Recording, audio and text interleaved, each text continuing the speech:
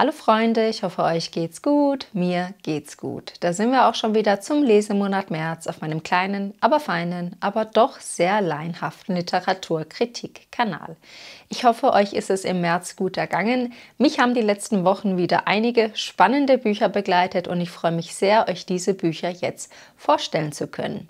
Ihr könnt mich wie immer in den Kommentaren wissen lassen, welche Bücher euch durch den März begleitet haben. Ich freue mich immer von euch in den Kommentaren zu hören und dann wünsche ich euch sehr viel Spaß mit meinem Lesemonat März.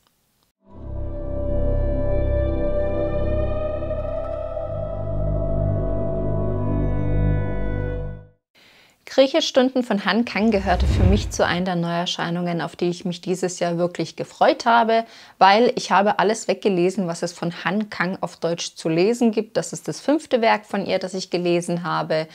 Und Griechischstunden gehört jetzt zu ihren früheren Werken, also es ist vor über zehn Jahren bereits erschienen. Und als ich das Buch zu Ende gelesen habe, habe ich mir auch ein bisschen selbst zusammenreimen können, warum es erst so spät erschienen ist, aber dazu später mehr.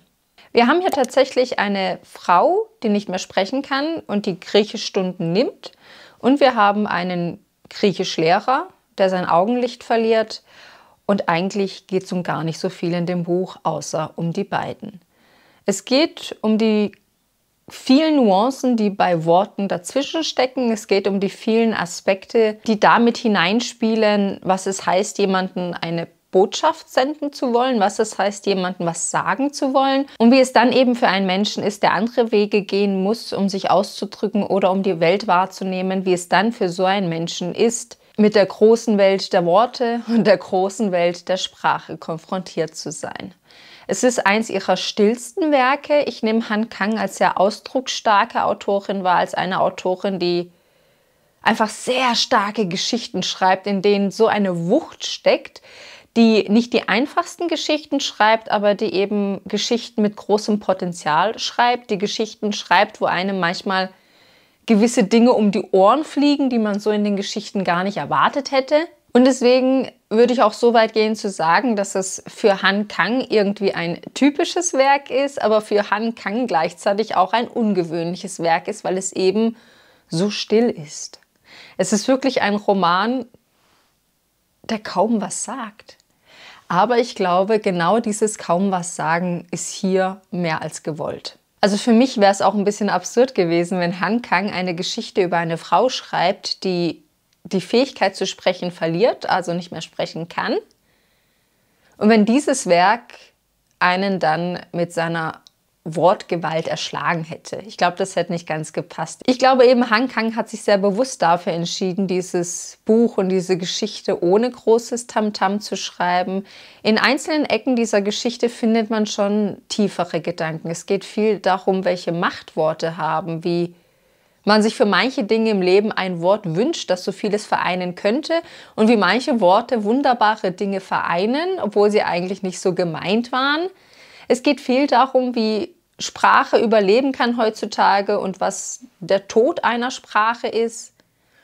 Und deswegen werden sich da Menschen, die gerne lesen und gerne Bücher lesen, auch sehr gut wiederfinden in den ganzen Gedanken, wo es eben darum geht, welche Machtworte haben können. Nichtsdestotrotz macht man hier zwischendurch eine Durststrecke durch, weil man irgendwann an den Punkt kommt, wo man die Protagonisten kennengelernt hat, aber selber irgendwie mit dem Gefühl dasteht, was soll denn jetzt noch kommen?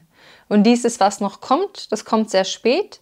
Das kommt auch nicht mit Pauken und Trompeten, aber es kommt auf leisen Schritten. Deswegen ist es stilistisch wahrscheinlich korrekt, wie Han Kang diese Geschichte aufgebaut hat, wie sie die Geschichte dieser zwei Menschen erzählt hat. Aber ich verstehe auch, dass viele Menschen sagen, dass es eben nicht viel ist, was Han Kang hier erzählt. Ich brauchte hier auch einen kleinen Moment, um wirklich in die Geschichte reinzukommen. Ich musste mich erstmal sortieren, wer bin ich und wie viele. Und vor allem, welche Vergangenheit haben diese Protagonisten? Wir springen immer ein bisschen in den Gedanken und in den Erinnerungen, die den einzelnen Protagonisten einfallen. Und deswegen brauchte ich eben einen kleinen Moment, um mir sicher zu sein, wer ich bin und zu welcher Zeit ich bin. Und auch wenn wir mit den Protagonisten in ihrem Alltag dann verschiedenste Themen streifen und in den Erinnerungen verschiedenste Themen streifen, ist es doch nicht so, dass man wirklich ein Thema als wirklich besonders hier herausgreifen könnte. Es ist schon eher lose wirkend und wir bekommen einzelne Impulse aus dem Leben der Protagonisten mit. Aber es lädt sich irgendwie nicht mit Dramatik auf. Also das, was man eben an dem Werk erwartet, dass irgendwie ein Spannungsaufbau stattfindet und alles irgendwie dramatisch aufgeladen wird, um dann eben an diesem einen Punkt zu explodieren, man hat das Gefühl, das passiert nicht wirklich. Aber ich glaube, wie gesagt, bei einem Buch, wo es darum geht, die Dinge anders wahrzunehmen, beziehungsweise bei einer Thematik, wo man sich die Frage stellt, wie ist es denn, wenn die Dinge anders wahrgenommen werden? Kann dann etwas, das eben ganz leise ist, von Natur aus trotzdem noch wahrgenommen werden? Und ich glaube, das war so ein bisschen der Gedanke hinter dem allen, dass eine sehr leise Geschichte für zwei Menschen doch irgendwie der Urknall gewesen sein kann. Wie gesagt, ich verstehe aber auch, wenn man dieses sehr lose, wenn man dieses, um was geht es hier überhaupt, wenn man dieses irgendwie fehlt irgendwas, wenn man das nicht zulassen kann und wenn man das einfach nur als Fragezeichen stehen lassen muss, weil man irgendwie nicht weiß, was Han Kang sich dabei dachte, da kann ich mir eben schon vorstellen, dass es für viele eben dann so wirkt, als wäre das eines der schwächeren Werke von Han Kang. Aber ich glaube, mir zumindest fehlt einfach die richtige Antenne für so eine leise Geschichte. Ich bin mir sicher, irgendjemand da draußen liest das Werk und geht in diesem Werk auf und nennt es sein Lebenshighlight überhaupt. Aber ich glaube, bei Han Kang kommt es eben ganz arg darauf an, ob man die Antenne hat. Man bleibt ja auch mit einem sehr diffusen Gefühl zurück. Also man hat nicht das Gefühl, dass sich irgendwas geklärt hat. Aber wieso denkt man denn auch immer, dass sich alles klären muss? Wieso denkt man denn, dass eine Wahrnehmung so eindeutig sein muss, dass sie im Endeffekt eine Wahrheit darstellt und eine Entscheidung darstellt? Vielleicht kann das einfach alles so als Wahrnehmung in der Luft hängen bleiben, als Geschichte in der Luft hängen bleiben, als Geschichte, die eben ein bisschen anders wahrgenommen werden muss. Ich würde im Endeffekt auch sagen, dass es eins der schwächeren, aber eben auch eins der stilleren Werke von Han Kang ist. Und ich glaube eben dadurch, dass sehr wortstarke und sehr laute Werke von ihr übersetzt wurden, sind so stillere Werke eben dann ein bisschen schwieriger zu fassen, wenn man eben sonst eine sehr starke Han Kang gewöhnt ist. Und wenn man bedenkt, dass dieses Werk eben nicht so zugänglich ist wie ihre anderen Werke und wenn man bedenkt, dass man eben mit diesen diffusen, was dieses Werk an sich hat, eher eine schwierige Zeit hat, dann verstehe ich, dass das nicht das erste Werk von Han Kang war, das auf Deutsch übersetzt wurde. Dann verstehe ich, dass da erst die anderen Werke kamen, die dann auf Deutsch kamen, bevor man dann eben gesagt hat, es ist Zeit, Griechischstunden zu übersetzen, weil es eben ein Werk ist, mit dem ich, glaube ich, ziemlich verloren dagestanden wäre, wenn das mein erstes Werk von Han Kang gewesen wäre. Deswegen an alle, die noch kein Han Kang gelesen haben, nicht mit Griechischstunden anfangen. Ich finde, in ihren anderen Werken ist sie einfach viel ausdrucksstärker. In ihren anderen Werken stehen andere Dinge im Fokus, die man eben deutlich mitnehmen kann, andere Dinge im Fokus, die man deutlich für sich bearbeiten kann. Da tut man sich als jemand, der Hankang entdecken möchte, keinen Gefallen, wenn man mit Griechischstunden in Hankang einsteigt. Ich habe dieses Werk zusammen mit meinem Mann gelesen und mein Mann kannte nur Deine kalten Hände von Han Kang und dann hat er mit mir zusammen Griechischstunden gelesen. Er sagt auch, man merkt sofort, dass es Han Kang ist. Also auch jemand, der nur einen Han Kang vorgelesen hatte. Er hat auch sofort gesagt, sie hat einfach ihre Art, wo man merkt, dass sie es ist. Das Buch fühlt sich nach dem Beenden so an, als wären wir uns einfach tausendprozentig sicher, dass wir eine Aufgabe von Han Kang bekommen haben aber wir wissen einfach nicht was. Keine Ahnung, Leute. Man sitzt da, man denkt, das war was. Für mich passt es, wenn man bedenkt, um welche Thematik es geht. Für mich ist es trotzdem nicht mein liebster Han Kang, aber für mich hat es einfach dazu gehört als Han Kang-Fan, dass ich auch dieses Werk von ihr lese. Han Kang hat trotzdem ein Händchen dafür, die Geschichten so zu schreiben, dass ich dranbleiben kann, dass mich die Geschichten interessieren, dass mich die Gedanken interessieren, dass mich einzelne Aspekte der Geschichte mitnehmen. Auch wenn diese Geschichte vom Plot und von den Bildern, die sie entstehen lässt, jetzt nicht die lauteste, stärkste Geschichte ist, so ist es doch eine Geschichte, wo ich nie darüber nachgedacht habe, es abzubrechen. Eine Geschichte, die ihren eigenen Zauber hatte, ihre eigenen Nuancen hatte aber bei der ich auch überzeugt davon bin, dass es für viele eben zu wenig Nuancen sind oder zu stille Nuancen sind. An diese Art des Geschichtenerzählens von Hiromi Kawakami hat mich diese Geschichte hier erinnert. Es ist natürlich auch eine stilistische Entscheidung, ein Bild so zu malen oder ein Bild so zu malen. Han Kang hat Bilder, die sind vollgemalt mit literarischer Imposanz.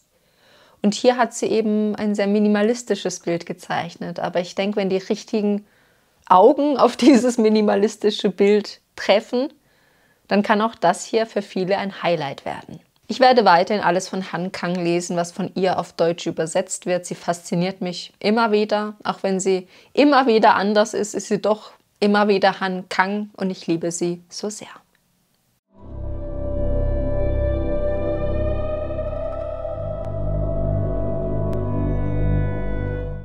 Und endlich ist es soweit. Ich habe Michelle Welbecks Karte und Gebiet gelesen und somit habe ich alle Romane von Michelle Welbeck gelesen. Yay!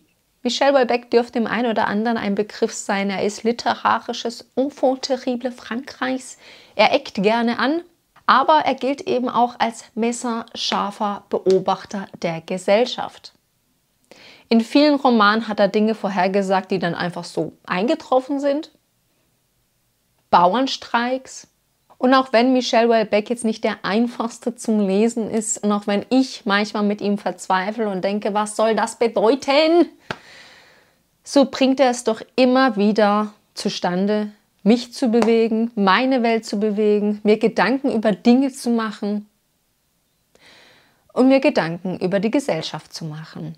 An diesem Punkt hört es sich für mich auch ein bisschen komisch an, wenn ich sage, Karte und Gebiet ist kein typischer Wellback, weil ich an diesem Punkt auch selbst nicht mehr weiß, was eigentlich noch ein typischer Wellback sein soll. Karte und Gebiet ist von all dem, was ich von ihm gelesen habe, doch eher ein untypischer Wellback. Wir begleiten hier den Künstler Jet Martin, der durch Fotografien berühmt wird. Jet Martin ist eigentlich typisch Wellback, kein Überflieger, also er ist gerade so okay.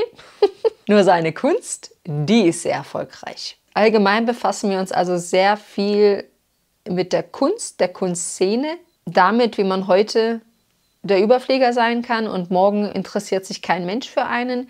Wir befassen uns viel mit dem Wert von Kunst, was den Wert von Kunst ausmacht. Aber trotzdem nimmt dieses Werk nicht den üblichen Lauf, den so eine Geschichte nehmen würde. All die Abzweigungen, wo man denken würde, die hätte Michel Houellebecq jetzt genommen, um seine Geschichte so zu erzählen, wie er sie sonst erzählt, die nimmt er hier nicht. Diese ganze Geschichte bekommt plötzlich eine andere Nuance, eine andere Einfärbung. Wir befassen uns plötzlich mit einer anderen Art einer Geschichte. Und wenn ich euch das jetzt erzähle, was dieses Werk ist und was dieses Werk dann wird, dann passt es eigentlich wunderbar zu unserem Künstler Jet Martin, der in seiner Kunst eben auch immer wieder Dinge verändert und von der einen Kunst in die andere Kunst geht. Von dem her tritt man manchmal auf so eine Metaebene, wenn man dann wieder über das Buch spricht und dann werden einem erst Dinge klar, dass Wellbeck mit diesem Werk gemacht hat, was der Künstler in diesem Werk mit seiner Kunst macht. Ich habe jetzt das Buch erst verstanden. es ist nun mal so, dass ich mich nicht besonders gut mit Kunst auskenne, schon gar nicht mit moderner Kunst. Nicht, dass ich mich mit antiker Kunst besser auskenne, aber da verstehe ich noch eher, wieso das als Kunst angesehen wird. Ich bin so der Typ Mensch, wenn ein schwarzer Streifen auf ein weißes Papier geklatscht wurde, für mich ist es keine Kunst. Für mich gehört ein bisschen mehr dazu. Und de facto ist es so, ich liebe Bücher und Literatur einfach so, so sehr. So, so sehr. Es fällt mir einfach schwer, noch Muse für eine andere Kunstform übrig zu haben. Deswegen kann ich euch sagen, wenn ihr mit Kunst oder diesem Zirkus, der eben um die Kunstwelt herum gemacht wird, überhaupt nichts anfangen könnt, hier seid ihr volle Kanne damit konfrontiert. Natürlich läuft alles danach, was gerade in ist. Natürlich läuft alles danach, was die Leute mit viel Geld gerade bezahlen wollen, worauf die Menschen mit viel Geld gerade stehen. Und im Umkehrschluss steckt natürlich dann automatisch die Frage, für wen wird diese Kunst dann gemacht? wenn diese Kunst dann eh einen Preis hat, die dann Normalsterbliche niemals zahlen könnte? Also gibt es den Kunstbetrieb nur, weil die Reichen schöne Bilder haben wollen? Gibt es Kunst nur, weil die Reichen schöne Bilder haben wollen? Ist das der Kern unserer Kunstindustrie, unserer Kunstszene? Das Alleinstellungsmerkmal dieses Werkes ist die Tatsache, dass Michel Welbeck sich selbst in dem Werk auftreten lässt. Also er hat eine Geschichte geschrieben, in dem der Schriftsteller Michel Welbeck vorkommt. Unser Künstler hat Kontakt mit Michel Welbeck. Ich finde es fair und herausragend von Michel Welbeck, dass er sich nicht so dargestellt hat, wie man es vielleicht meinen würde, dass er sich selbst auch nicht aus dem Ganzen rausnimmt, dass er auch ehrlich zu sich selbst sein kann und sagen kann, das ist vielleicht der Michel Welbeck, den man antreffen könnte. Was hätte er einfach diese Chance nutzen können, uns von einem Michel Welbeck zu erzählen, den wir alle lieben würden. Aber was macht unser Michel Welbeck natürlich? Er lässt uns auf einen sehr puren, sehr authentischen Michel Welbeck treffen. Und deswegen liebe ich ihn, weil er sich selbst aus seinem ehrlich zu sich selbst sein und ehrlich zu der Welt sein nicht rausnimmt. Ich war so gespannt, wie der Autor Michel Welbeck sich selbst in einem Roman beschreiben würde.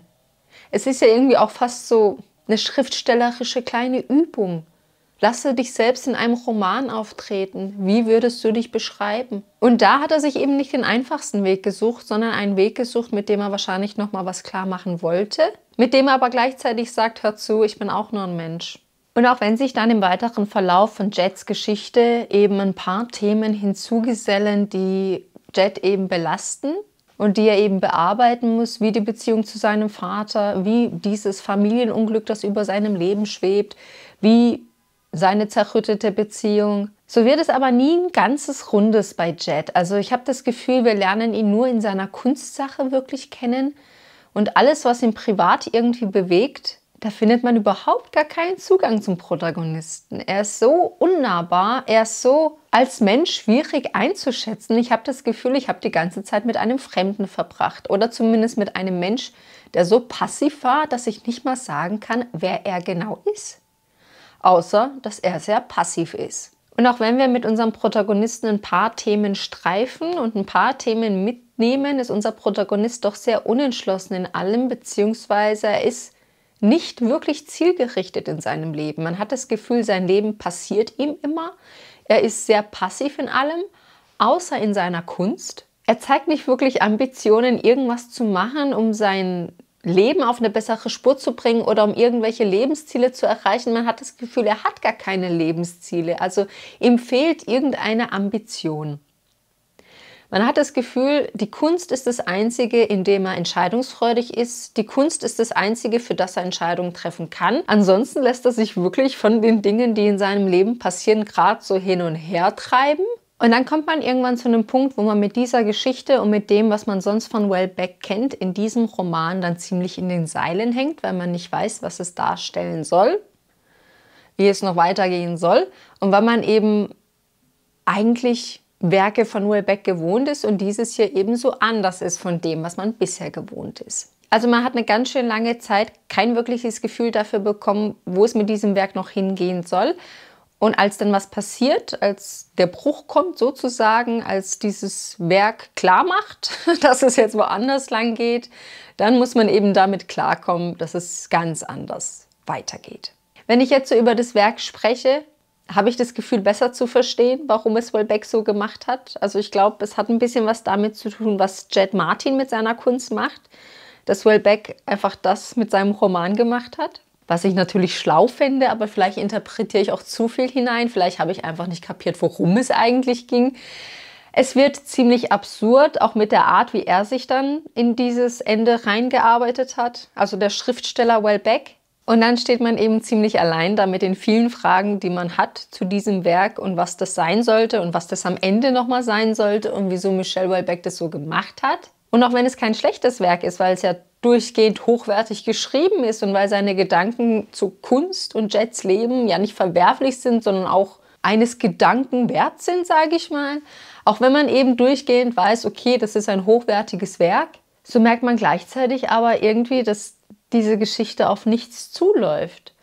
Im Endeffekt läuft sie schon auf was zu, aber trotzdem ist sie so ziellos davongelaufen, würde ich fast schon sagen. Ich habe für mich gedacht, das ist eigentlich der schlechteste Wellback, mit dem man starten kann, bevor mein Mann sagte, ich glaube gerade deswegen wäre es der beste Wellback, mit dem man starten kann, weil es eben nicht so die Wucht hat und nicht so das überaus Dramatische hat, was seine Werke eben sonst haben. Er hat ja Werke, wo er mit gewissen Themen einfach komplett über die Stränge schlägt, wo wir eben seitenweise ein Thema auseinandergenommen haben, das sich dann in solchen Sphären bewegt, dass man als Normalsterblicher mit einer normalen Schulbildung eigentlich thematisch gar nicht mehr hinterherkommt.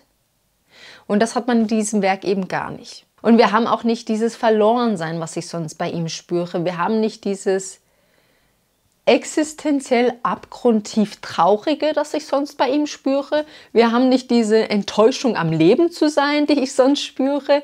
Wir haben einfach einen anderen Wellback. Und das mit der Fokusverschiebung am Ende, das macht mit den Gedanken, die ich habe, schon Sinn, aber das muss man als Leser natürlich auch aushalten können. Es war einfach nicht mein liebster Wellback. Er hatte nicht so eine Einschlagskraft in meinen Gedanken, wie er sie sonst hat. Er hat mich mit den Themen nicht so gepiekst, wie er mich sonst piekst.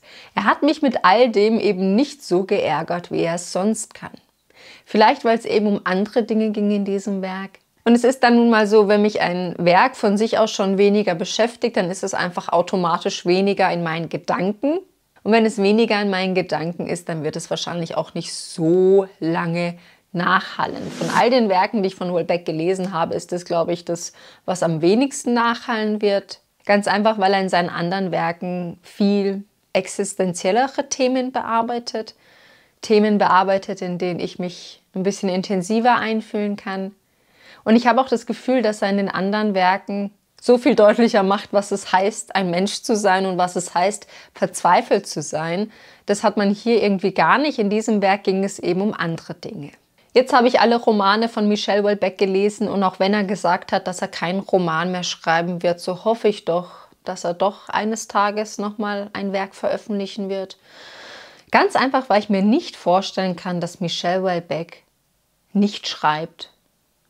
Dass er einfach sein kann, ohne die Dinge in seinem Kopf aufzuschreiben.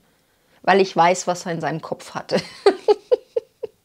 Und das Zeug muss raus.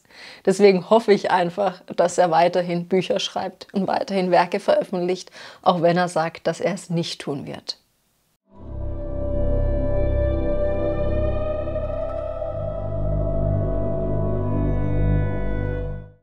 Das nächste Buch, das ich euch vorstelle, habe ich ganz unverhofft zum Geburtstag geschenkt bekommen und habe mich wirklich sehr darüber gefreut. Es handelt sich hierbei um die Tagebücher von Etty Hillesum. Esther Hillesum, sie wurde 1914 in den Niederlanden geboren. Sie schloss ihr Jurastudium mit einem Masterexamen ab und studierte nebenher noch Slavistik. Leider wurde die Lage für Etty in den Niederlanden dann, wie für viele Menschen der jüdischen Bevölkerung, sehr schwierig.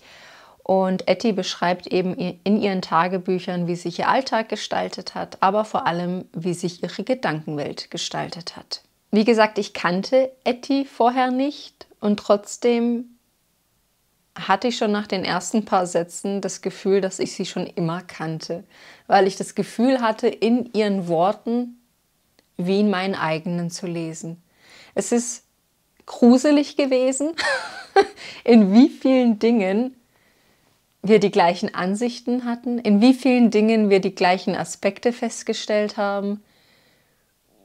Es ist einfach so gruselig, wenn man die Tagebucheinträge von jemandem liest, der so ein anderes Leben hatte und doch stellt man fest, irgendwie waren wir uns doch so ähnlich, dass wir uns einfach sehr gut verstanden hätten. Also wirklich gut verstanden hätten. Etty ist für mich ein wahrhaftiges Phänomen. Ich würde euch dieses Buch wirklich empfehlen, einfach nur um Etty kennenzulernen, um einfach einen Menschen kennenzulernen, der so ist wie Etty. Sie ist unglaublich. Man findet hier einen unglaublichen Mix aus ungefilterten Alltagsgeschehen, also sie schildert, was los ist, sie schildert, wie schlecht es ihr geht, Sie beschreibt immer wieder die Angst, die sie hat. Und auch einfach der Gedanke, damit leben zu müssen, dass jemand meinen Tod will. Auch das hat sie immer wieder verfolgt. Aber trotzdem findet sie neben diesem vielen Grausamen, was um sie herum ist, findet sie trotzdem immer wieder den Mut in sich und die Motivation in sich, nach dem Guten im Leben Ausschau zu halten. Sie ist so bemüht, ihre Gedanken ins Reine zu bringen. Sie ist so bemüht, als Mensch standhaft zu werden. Sie ist so bemüht, eine Standhaftigkeit ihrer Seele irgendwie hinzubekommen, aber nicht damit sie selber besser durchs Leben kommt. Nein, Etty will für andere eine Stütze sein. Sie will durch ihr Dasein irgendwie anderen dabei helfen, auch da zu sein. Es ist unglaublich, was für eine Menschenliebe in ihr steckt, was für eine Nächstenliebe in ihr steckt. Und es ist unglaublich, dass sie sich diese durch so schwere Zeiten nicht nur bewahrt, sondern dass sie in diesen schweren Zeiten es richtig rauskommen, dass sie das als ihren Lebensfokus nimmt, für andere ein Pflaster auf deren Wunden zu sein. Das war für mich die reinste Form der Nächstenliebe, die ich jemals gelesen habe. Und es hat nicht mal unbedingt was mit irgendeiner Kirche zu tun oder ihrer Religion zu tun. Das hat einfach was damit zu tun, wie sie davon überzeugt ist, dass ihr Leben einen Sinn hat, solange es jemand anderem durch ihr Dasein ein bisschen besser ging oder ein bisschen gut ging oder sie jemandem irgendwie helfen konnte. Das ist ihre einzige Lebensberechtigung, noch da zu sein, nämlich um für andere da zu sein. Aber das Ganze entwickelt sich erst. Etty ist auch ein Mensch, der sich einfach für viele Dinge interessiert und ein Mensch, der sich dafür interessiert, wie es in seiner Innenwelt aussieht, die sich wirklich Gedanken darüber macht, wie sie Klarheit in ihre Gedanken bringen könnte. Und dadurch, dass sie sich eben für ihre Psyche interessiert hat, lernt sie dann eines Tages Julius Spier kennen, den sie liebevoll J. Punkt nennt. Und dieser Julius wird nachher der Begründer der Psychochirurgie, aber ich muss gleich dazu sagen, natürlich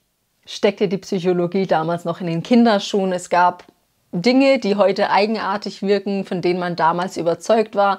Und so gerät Etty eben an diesen Julius und sie lässt sich eben auch von ihm behandeln. Und auch wenn man heute vielleicht die Behandlungsmethoden in Frage stellen würde oder das Ziel dieser Behandlungsmethode hinterfragen würde, so begibt sich Etty doch in seine Behandlung und im Rahmen dieser doch heute absurd wirkenden Behandlung kommt es dazu, dass sich Etty eben mit ihrem Inneren auseinandersetzt. Und dieses Auseinandersetzen mit dem Inneren, auch wenn es hier so stattfand, wie es heute nicht mehr stattfinden würde, durch diese Auseinandersetzung mit ihrem Innenleben kommt es eben nach und nach zu einer Wandlung in Etty und sie wird einfach immer mehr ein gefestigter Mensch. Dieses Buch hat für mich eine unglaublich spirituelle Kraft. Sie hat eine unglaubliche Gottessicherheit, würde ich schon sagen. Also sie weiß, dass es Gott gibt. Und sie weiß es, weil sie mit Gott im Innern redet, einen Dialog hält. Und gleichzeitig hat sie eben auch diese Nächstenliebe als obersten Wert in ihrem Leben und diese nicht in Frage zu stellende Sicherheit, dass ihr Leben an Wert hat, solange sie jemand anderem eine Stütze sein kann. Sie ist so unglaublich gefestigt in ihren Überzeugungen, wenn ich nur ein Gramm davon hätte. Wenn ich nur ein Gramm davon hätte. sie ist aber gefestigt in ihren Überzeugungen, weil sie so viel reflektiert. Nicht, weil sie einfach dumm und naiv daran glaubt, sondern weil sie immer wieder reflektiert und das Leben, das Leben an sich ist für sie der größte Beweis dafür, dass es Gott gibt. Und das reflektiert sie jeden Tag. Sie nimmt dieses, das Leben ist trotzdem schön und dass sie das noch in ihrer Situation sagen kann. Nein, das Leben ist trotzdem schön. Und auch wenn ich ein Mensch bin, der von sich eigentlich sagen würde, ich bin der Typ für die stillen Stunden. und auch wenn ich von mir sagen würde, dass ich eigentlich schon ein Typ bin, der darauf achtet, den Blick auf das Schöne im Leben zu richten und eigentlich schon mir den Alltag so gestaltet, dass ich den Blick für das Schöne nie verliere, weil es einfach das Einzige ist, was ich noch habe im Alltag. das Schöne im Leben so hat mir Etty doch nochmal eine neue Dimension davon gezeigt, was es heißt, zu glauben, was es heißt zu glauben und überzeugt zu sein und was es einfach für sich heißt, einen Sinn in seinem Dasein zu finden. Diese unglaubliche Überzeugung, die sie gefunden hat in ihrem Dasein, dass es ausreicht, dafür da zu sein. Da hat sie mir Dimensionen gezeigt, die ich so niemals für real gehalten habe. Auch die Tatsache, mit welcher Unverwüstlichkeit sie geglaubt hat. Wie sie diese Stärke heranzüchten konnte, so, so einen festen Glauben zu haben und durch diese spirituelle Wucht, die sie einfach in sich hat, macht sie einem so viel klar. Und das habe ich ja niemals erwartet, dass ich eine Schwester im Geiste finde, dass ich jemand wieder finde, wo ich erschrocken bin. Dass man in manchen Aspekten so ähnliche Gedanken haben kann und dass man in all dem, was so Furchtbares um einen herum los ist, dass man in all dem so viel Mut und Glaube finden kann. Dass man so viel Sinn für sich finden kann. Dass man trotzdem so viel für sich finden kann. Trotzdem. Ich kann die Tagebücher von Etty Hillesum aber auch jeden ans Herz legen, der nichts mit einem Gottkonzept anfangen kann oder mit der Vorstellung eines allmächtigen Gottes anfangen kann. Hier steckt auch viel drin, dass man einfach ohne Gottesbezug für sein Leben mitnehmen kann. Hier steckt viel drin, was es heißt, Hoffnung zu haben, was es heißt, in den dunkelsten Stunden Hoffnung zu haben und wie es doch wichtig ist, dass es da noch jemanden gibt, der Hoffnung hat. Und weil es sich eben um die Tagebücher von Etty Hillesum handelt, muss man natürlich auch davon ausgehen, dass es nicht aufgebaut ist wie ein klassischer Roman. Also wir haben keinen Plot, den Etty uns hier erzählt oder den sie in einer sinnvollen Spannungskurve irgendwie aufrechterhält. Wir haben einfach ihren Alltag, ihre Gedanken, Dinge, die ihr passieren, Dinge, die ihr nicht passieren. Aber es geht eben viel darum, wie man sein Innerstes in Ordnung bekommt, wie man in seine Gedanken eine Ordnung bekommt.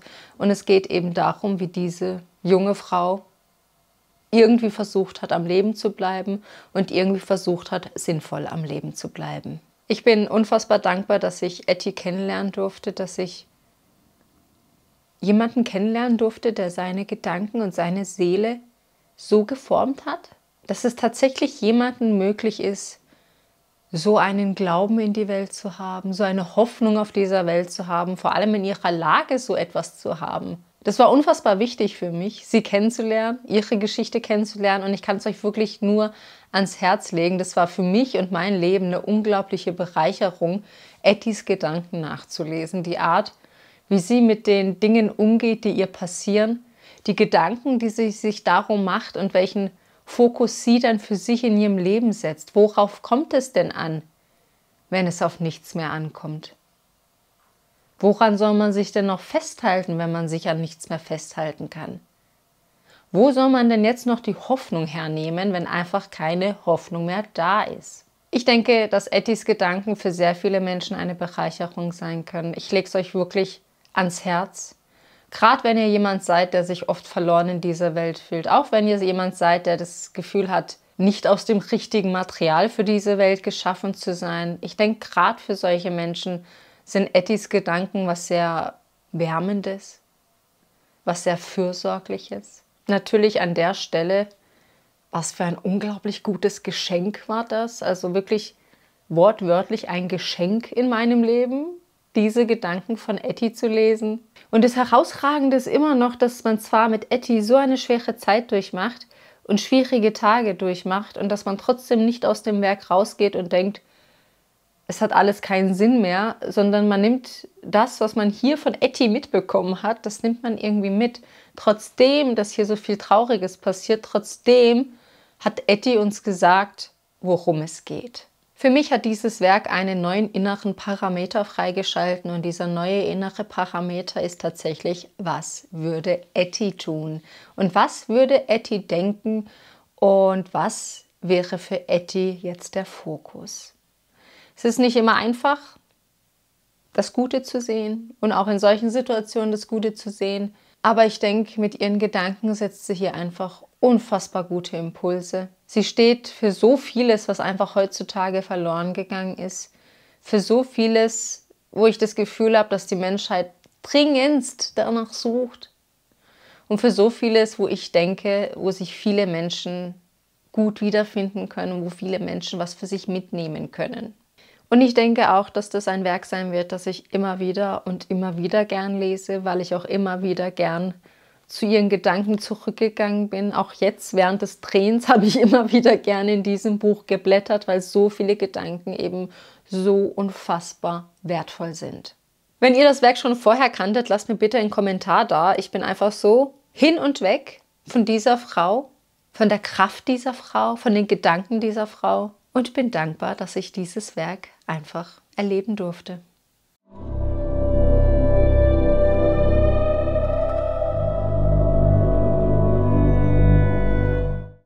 Fang Fangs wütendes Feuer habe ich von Fabienne vom Kanal Japan Connect zu Weihnachten geschenkt bekommen. Vielen Dank nochmal, liebe Fabienne. Und ich habe mich sehr darüber gefreut. Ich habe von Fang Fang Weiches Begräbnis gelesen, hatte auch vor, wütendes Feuer zu lesen, aber der Moment hat sich irgendwie nie ergeben. Aber natürlich, jetzt wo ich es geschenkt bekommen habe, habe ich es natürlich gleich gelesen. Wir begleiten hier eine junge Frau in China. Wir sind in einer sehr ländlichen Gegend in China unterwegs. Yingzi ist sehr schön. Und in einer Hochzeitsband singt sie, womit sie einigermaßen gut Geld verdient. Aber es kommt, wie es kommen muss. Yingxi ist schön, jung und sie lernt einen Tunig gut kennen. Eigentlich hat unsere junge Protagonistin kein anderes Ziel im Leben, als in Ruhe leben zu können. Und eigentlich sollte das ja auch nicht so schwierig sein, aber in diesem sehr ländlichen China geprägt von sehr starren, strengen Wertvorstellungen, ist es für Yingxi als junge Frau, als junge Mutter nicht ganz einfach. Natürlich ist ihr Schicksal irgendwie damit besiegelt, dass sie schwanger wird und eben jetzt an diesen Tour nicht gut gebunden ist. Aber Yingxi versucht trotzdem irgendwie ein Glück in ihrem Leben zu finden, irgendwas auf die Beine zu stellen, um ihr eigenes Haus zu haben, um Herr über ihr eigenes Leben zu werden. Wir begeben uns mit unserer Protagonistin in eine ziemliche Abwärtsspirale. Man kommt auch schnell durch das Buch durch, weil man irgendwie das Gefühl hat, man puh, rauscht so mit der Protagonistin nach unten. Und irgendwie weiß man auch gar nicht, wie man diesen jungen Mädel jetzt helfen könnte oder dieser jungen Frau jetzt helfen könnte. Und irgendwie hat man das Gefühl, sie macht alles nur schlechter. Auf der anderen Seite kann es ja gar nicht besser werden, wenn es immer so bleibt. Aber was wir auf jeden Fall durch Yingxi lernen und ihre Position und ihre Probleme, die sie hat, ist, wie die Gesellschaft ist, wie die Gesellschaft eben in diesen ländlichen Gebieten in China tickt. Und da ist es eben egal, was deine Frau machen will. Wenn deine Frau nicht auf dich hört, hast du als Mann ein Problem. Deine Frau hat auf dich zu hören.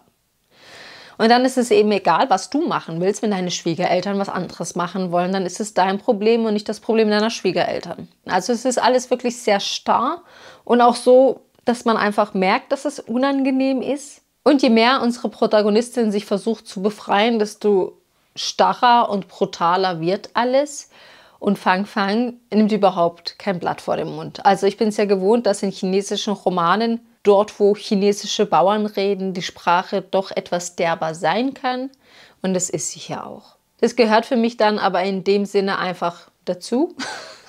für mich braucht es kein Autor zu beschönigen, wie chinesische Bauern sprechen. Wenn die so sprechen, gehört es für mich dazu. Aber natürlich ist es erstmal ein kleiner Kulturschock, wie derbe mit ihr umgegangen wird, wie respektlos mit ihr umgegangen wird, wie man um ihr körperliches Wohl besorgt ist und wie sich Yingxi aber in dieser Situation von niemandem Hilfe versprechen kann. Natürlich muss man sagen, dass wir auch eine junge Frau als Protagonistin haben, die jetzt nicht die größte Lebenserfahrung hat. Also manches wird man vielleicht anders machen, aber unsere Protagonistin, wie gesagt, die hat das erste Mal so einen blöden Typen kennengelernt und sie ist eben sehr jung an diesem Typen hängen geblieben. Es war schon zwischendurch ein bisschen gruselig, wie unglaublich negativ einfach der Einfluss des Mannes war, wie einfach mit dem Eintreten dieses Mannes in das Leben unserer Protagonistin das Glück vorbei war, wie er alles, was irgendeinen Wert in ihrem Leben hatte, zunichte gemacht hat, wie sie nur noch zu seinem Wohl abberufen war, wie sie nur noch dafür da war, damit der Mann glücklich ist, damit das Kind versorgt ist, damit die Schwiegereltern glücklich sind, aber niemand mehr danach gefragt hat, wie es ihr eigentlich geht. Und das Schwierigste war für mich auch noch zu ertragen, zu ertragen, dass unsere Protagonistin ja recht hatte. Also es ist doch nichts Verwerfliches, wenn man sein, wenn man sein Leben leben möchte, wenn man einfach nur die eigenen vier Wände haben möchte, in denen man seine Ruhe hat. Das ist ja nichts Verwerfliches. Und deswegen kommt einem Yingxis Schicksal eben nochmal derber vor, weil es einfach nur um eine junge Frau geht, die einfach nur ihre Ruhe haben will. Und ihr wisst vielleicht, wenn es darum geht, dass Menschen nur ihre Ruhe haben wollen, da werde ich mich verkämpfen für Leute, weil ich will auch nur meine Ruhe haben. Und wisst ihr, wenn man dann so ein paar Mal Auseinandersetzungen hatte und so ein paar Mal an dem Punkt stand, wo renne ich jetzt hin in meinem Leben, wo ist noch für mein körperliches Wohl gesorgt, so wie man es hier mit der Protagonistin eben durchmacht, dann weiß man im Endeffekt auch nicht mehr, was sie am besten hätte tun sollen. Weil glücklich wäre sie so oder so nicht geworden. Also es gibt für sie irgendwie kein Modell ihres Lebens, in dem sie hätte glücklich werden können. Und das hat Fang Fang sehr gut deutlich gemacht, dass es manchen Frauen zu dieser Zeit in diesen ländlichen Gebieten in China, die eben was anderes wollen, die eine andere Vorstellung von ihrem Leben haben, dass es für die eventuell keine Möglichkeit gibt, glücklich zu werden, weil die Umstände vor Ort, weil die Gesellschaft vor Ort das so eben nicht akzeptiert. Yingxi stellt auch in ihrem Verhalten diese Zerrissenheit dar. Also auf der einen Stelle möchte man ja nicht das Enfant terrible sein, man möchte ja nicht diejenige sein, die die Familie auseinanderreißt. Eigentlich wollte man diejenige sein, die irgendwas bewegt in diesem Leben. Und es wird bei Yingzi eigentlich ziemlich gut klar, dass sie eigentlich jemand ist, der was Gutes bewirken wollte. Aber jetzt wird sie eben immer als der Bösewicht dargestellt. Aber trotzdem gibt es ein Thema, bei dem die Protagonistin wahrscheinlich anderen Lesern auch vor den Kopf stößt. Und das ist ihr Kind, beziehungsweise die Beziehung, die sie zu ihrem Kind hat, die sehr viele Fragezeichen aufwirft, wo man einfach nicht nachvollziehen kann, wie es so weit kommen kann. Auf der anderen Seite sehe ich natürlich, dass unsere Protagonistin, die hatte eine andere Vorstellung davon, wie sie Mutter wird. Und natürlich ist es dann sehr schwer, sich mit dem abzufinden, wie man dann in der Realität Mutter wurde und die Möglichkeiten, die man dann eben als Mutter hat. Also ich weiß nicht, ob diese ganze Situation einfach so nicht dem entsprochen hat, wie sich Yingxi das vorgestellt hat, dass sie eben sich nie vorstellen konnte, sich da in diese Mutterrolle einzufügen. Nichtsdestotrotz glaube ich, dass es in unseren Gesellschaftskreisen eher komisch wirkt, wie sie dann über ihr Kind denkt und welche Entscheidungen sie dann für ihr Kind und sich trifft. Aber ich kann es auch stehen lassen, dass Fang Fang die Geschichte eben so geschrieben hat. Punkt. Ich finde, das Buch ist gut als Einstieg in die chinesische Literatur geeignet. Wir haben Fußnoten, in denen was erklärt wird, wenn was nicht klar ist. Wir haben eine überschaubare Anzahl an Protagonisten, sodass es nicht zu schwierig wird mit den Namen. Und es hat auch eine erträgliche Länge, sage ich mal, um sich in fremde Gefilde der Literatur zu wagen. Mir hat dieser Kurztrip nach China auf jeden Fall sehr viel Spaß gemacht und hat mir auf jeden Fall wieder ein bisschen mehr Lust auf China gemacht. Nach Mo Yans Das rote Kornfeld war ich ziemlich übersättigt mit China. Ich war so pappsatt nach dem Meisterwerk.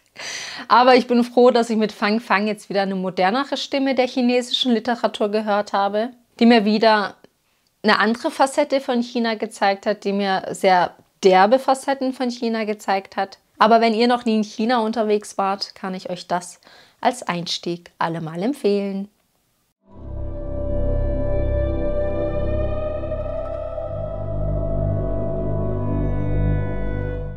Und ich war mal wieder in antarktischen Gefilden unterwegs mit Julian Sanction oder Julien Sanction, I don't know. Irrenhaus am Ende der Welt. Der Autor studierte europäische Geschichte in Harvard, er ist Journalist und Irrenhaus am Ende der Welt ist sein Debütroman. Er beschreibt hier die Belgica-Expedition, die von 1897 bis 1899 andauerte und nicht ganz so verlief, wie man sie geplant hatte. Ihr wisst vielleicht, ich bin riesengroßer Expeditionsfan. Ich liebe Expeditionsberichte in die Antarktis, vor allem in die Antarktis. Der Kenner weiß, die Antarktis ist ein Kontinent. Die Arktis ist eine schwimmende Eisplatte. Ich liebe es auf jeden Fall, von diesen abenteuerlichen Reisen zu lesen, zu einer Zeit, als Menschen eben noch nicht alles mit dem Handy bestreiten konnten und zu einer Zeit, als man noch keine Vorstellung davon hatte, wie es überall auf der Welt aussieht. Wir starten hier wie bei jedem guten Expeditionsbuch mit einem jungen, starken Kerle, der große Träume hat, viel Geld hat, aber niemand, der an ihn glaubt. Es geht erstmal um den belgischen Kommandanten, unter dessen Führung diese ganze Expedition stand. Er war der Initiator dieser Expedition. Er hat die Gelder eingesammelt für diese Expedition. Und es war, wow, die erste und einzige belgische Antarktis-Expedition. Natürlich lernen wir alle Besatzungsmitglieder kennen, die sind auch wichtig, weil wir uns sehr lange mit diesen Besatzungsmitgliedern auf einem Schiff befinden. Und diese hohe Kunst aus, die Leute müssen schon wissen, wie der Einzelne tickt, damit man nachher versteht, wie sich die Dynamik auf diesem Schiff verändert, damit man nachher versteht, wieso es zwischen manchen ein bisschen schwierig wurde, wieso man die eine nicht zusammen in eine Kabine stecken kann, die anderen zwei schon. Und dieses Feingefühl hat der Autor. Er weiß genau, was er uns erzählen muss. Er weiß genau, was er uns erzählen muss, wo die Leute herkommen, damit man nachher versteht, welche Rolle sie auf diesem Schiff spielen, mit welchen Motiven sie auf dieses Schiff gegangen sind, welche Ziele sie im Leben haben und was für diese Menschen eben im Fokus stand. Es gab viele Gründe, in die Antarktis zu fahren. Viele Gründe. Aber es wäre naiv zu glauben, dass jeder den gleichen hatte. also wo der eine Ruhm und Reichtum für Belgien wollte, da wollte der eine nur Erfahrung sammeln, weil er selbst irgendwann mal der größte Expediteur auf der Welt sein will. Was dieses Buch jetzt vorrangig von all den anderen Expeditionsbüchern unterscheidet, die ich bisher gelesen habe, ist die Tatsache, dass wir die sehr wertvollen, sehr detaillierten Aufzeichnungen eines Arztes haben. Ich weiß, es mag sonderbar erscheinen, aber es ist so, dass nicht jeder ein Publikationsrecht hatte, nachdem man auf einer Expedition war. Und es ist so, dass nicht immer auf die Aufzeichnung des Arztes Wert gelegt wurden, nachdem man auf einer Expedition war. Also meistens haben sich die Leute eben für den interessiert, der das Sagen hatte auf der Expedition und nicht unbedingt für den Schiffsarzt. Aber hier haben wir eben, dem einen oder anderen dürfte er bekannt sein, Frederick Albert Cook, der als Arzt auf dem Schiff ist. Und wir haben vor allem Roald Amundsen.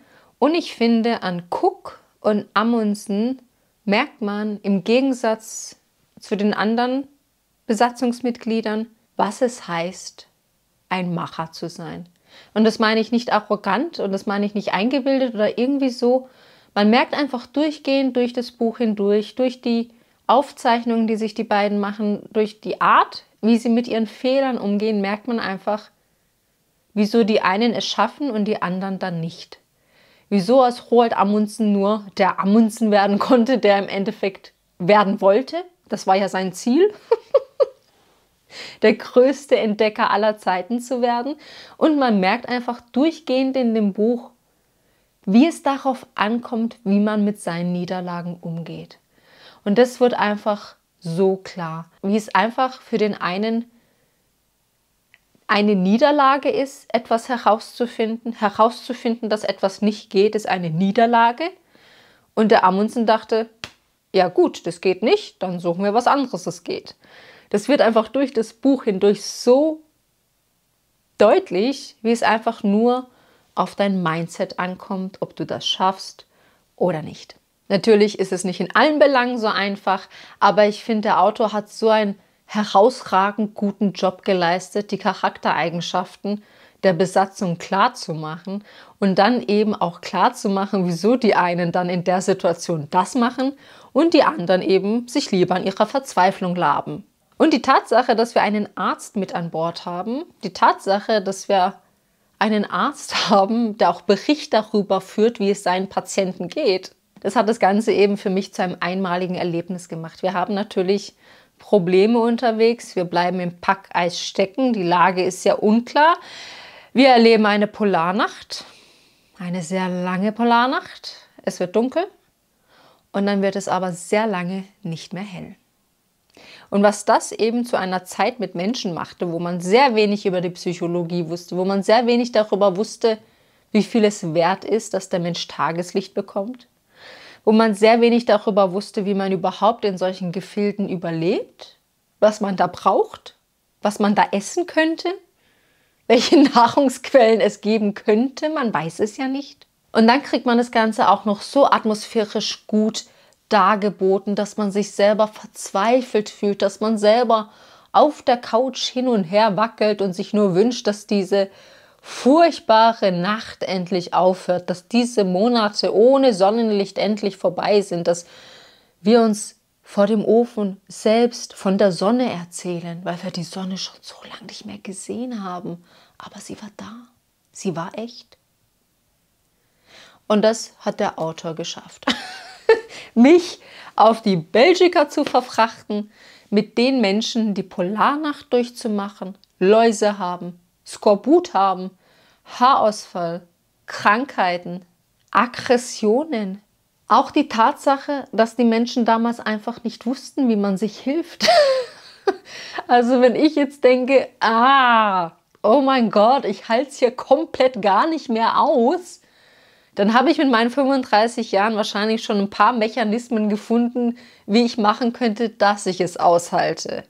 Aber damals, wo es eben um Überleben oder Nicht-Überleben ging, dann war es eben nicht so schwierig, da noch Dinge zu finden, wo man denkt, okay, mit diesem Mechanismus könnte ich es mir jetzt angenehmer machen.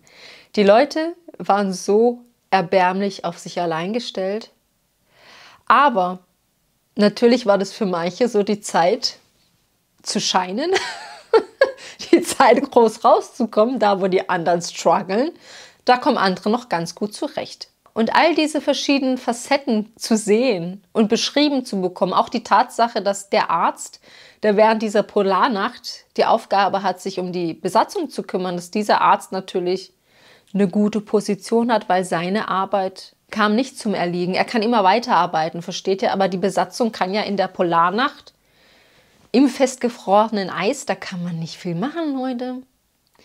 Und da ist auch nicht viel los auf so einem Schiff. Und was meint ihr, was da für Stimmung aufkommt? Da braucht es nicht viel, bis man jemanden mit einer Bratpfanne eins überhaut. Da braucht es einfach nicht mehr viel. Deswegen bin ich so dankbar, dass wir einfach Menschen haben, die sich fachlich mit Dingen auseinandersetzen, die das wirklich fachlich in eine Ordnung bringen können, die Aufzeichnungen, wertvollste Aufzeichnungen aus dieser Zeit in eine richtige chronologische Reihenfolge bringen können, die Dinge miteinander in Bezug setzen können, die wissen, okay, Amunds Tagebuch sagt so, Cooks Tagebuch sagt so, Galasch Tagebuch sagte so. Und die all dieses Wissen dann zu so einer Geschichte zusammenfügen können. Dem Herrgott sei lobend Dank. Wirklich, Leute, das ist für mich auf einer Stufe mit Erebus von Michael Palin, war für mich genauso herausragend. Hier, wie bei Erebus, versteht es der Autor, jeden in der Geschichte seinen Moment zu geben, jeden in der Geschichte seinen Platz zu geben und dann diese Geschichte mit diesem platzierten Protagonisten, mit allem drumherum, was eine Expedition ausmacht, auf den Punkt zu bringen. Es ist ja auch so viel, was bei einer Expedition dazukommt, Leute. Wir fangen ja erstmal an mit den ganzen Vorbereitungen. Also die Leute haben ja wirklich was zu erzählen, wenn sie über eine Expedition erzählen wollen. Da muss man eben ganz vorne anfangen. Das gehört einfach dazu. Manch einer kann das eben pfiffiger erzählen, wie die Leute an ihr Geld kamen, wie man eben, ja, um Sponsoren gebettelt hat. Und manch ein Autor kann es eben nicht, aber hier, dieser Kerle, der kann es einfach, Leute. Und wenn wir dann auf Expedition sind, ist es dann auch noch wichtig, die Geschichte so beieinander zu halten, dass das nicht einfach nur wirkt wie der 13. Tag, alles ist weiß, der 14. Tag, alles ist weiß, sondern dass man eben noch ein Gefühl dafür bekommt, was es wirklich heißt, dann auf diesem Schiff zu sein. Und dann muss man das Ganze natürlich noch zu einem Schluss bringen und das Ganze in einen gesamthistorischen Kontext setzen und dann eben noch sagen, was diese Reise für die Geschichte der Expeditionen bedeutet hat. Und das ist unserem Autor hier gelungen. Das war wirklich so ein Expeditionsbuch, wo von vorne bis hinten ein reiner Genuss für mich war. Wirklich genau das, was ich will, wenn ich von Expedition lesen will. Ich will das alles. Ich will das alles beschrieben bekommen. Ich möchte wissen, wie die ausrasten. Ich möchte wissen, wie ungepflegt die sind. Ich möchte wissen, wie ekelhaft und schwierig das war. Das möchte ich alles wissen, weil die hatten den Mut, das durchzustehen. Dann möchte ich auch wissen, wie es ihnen dabei ergangen ist. Ich kann dieses Buch wirklich jedem empfehlen, der sich für Expeditionen interessiert. Ich weiß, es sind nicht viele, aber ich liebe solche Geschichten. Das sind für mich die spannendsten Geschichten auf der Welt, Leute. Wie krass waren die eigentlich drauf? Und wie krass die drauf waren, das merkt man hier eben. Und deswegen bin ich dankbar für Leute, die ihr Fach respektieren, für Leute, die sich Mühe mit ihrer Arbeit geben, für Leute, die Zeit Mühen und Kosten investieren, um so ein wertvolles Werk zusammenzuschreiben und mir ein Fitzel von einem Einblick geben zu können, was damals passiert ist. Wirklich nur so einmal durch einen Türspalt gespickelt in die Kapitänskabine. so ein Gefühl hatte ich hier.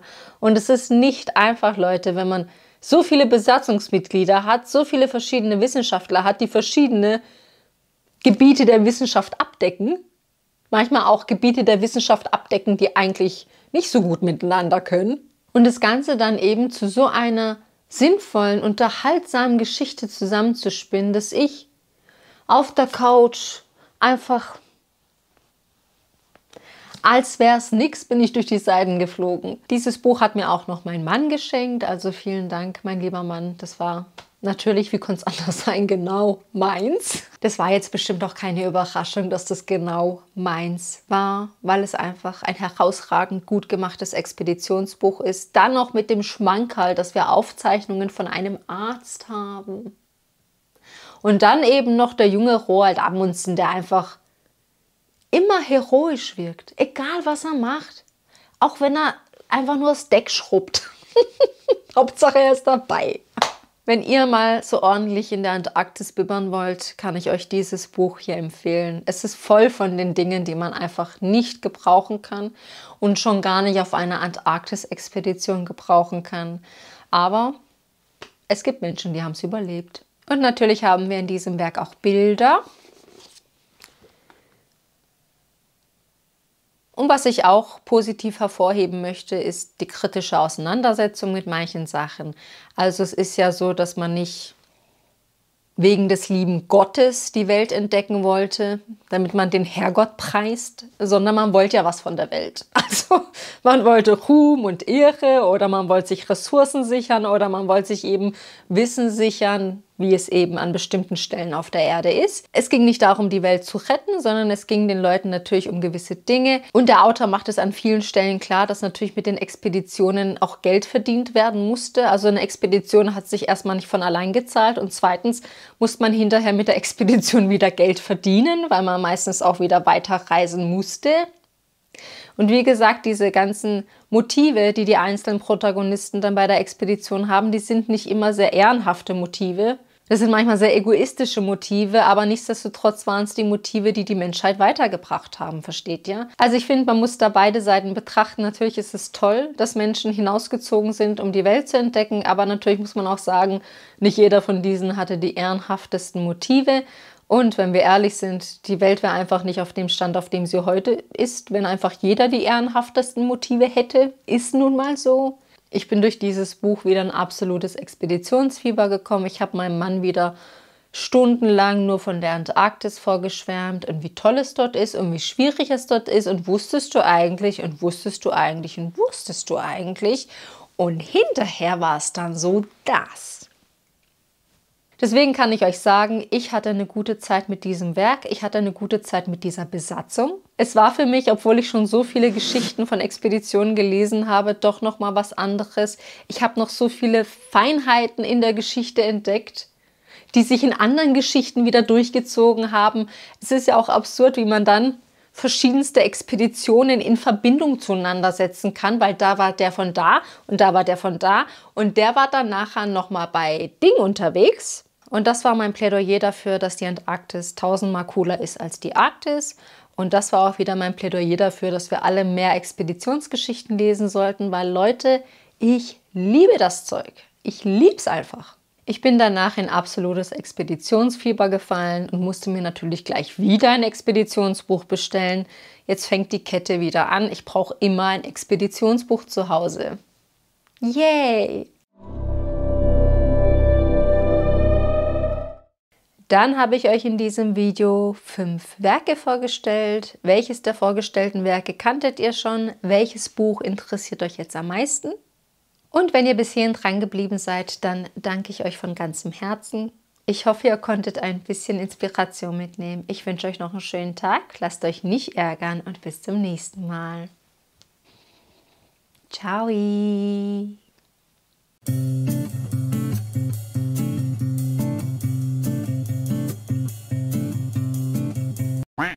Ich habe wieder bombenmäßige, bombenmäßig, keine Gewalt. Hallo Freunde, ich hoffe, Freunde, hallo Freunde. hallo Freunde. Hallo Freunde, ich hoffe, euch geht's gut. Mir geht's. Hallo Freunde, jetzt kann ich nicht mehr Hallo Freunde sagen. ich mach mal kurz Pause buntes, abwechslungsreiches Bouquet an wunderschönen Werken gelesen. Ich bin. Ich weiß gar nicht, was ich sagen möchte. Hallo Freunde, ich hoffe, euch geht's gut. ich weiß nicht, ob ihr dieses. Ähm, also für mich wäre es jetzt ein bisschen. Also für mich wäre es jetzt ein. Ansonsten ist mal ans. Ansonsten ist man ans Ansonsten bin ich als Hankang, also äh, ansonsten bin ich als und auch hier ist es so, dass eine Passit und auch hier ist es so, dass eine Passivität, Passivität, dass seine Pass, Pass, Pass wir begleiten hier Yingzi, eine Ying, Yingzi, Yingzi, Yingzi, Yingxi. Ich hatte mal wieder, ich hatte mal wieder Luft, ich hatte mal, ich hatte mal. Und was wir hier als Alleinstellungsmerkmal haben, oh, ich kann dieses Buch nicht so lang halten, Leute. Sehr detaillierten Aufzeichnungen eines Arztes haben.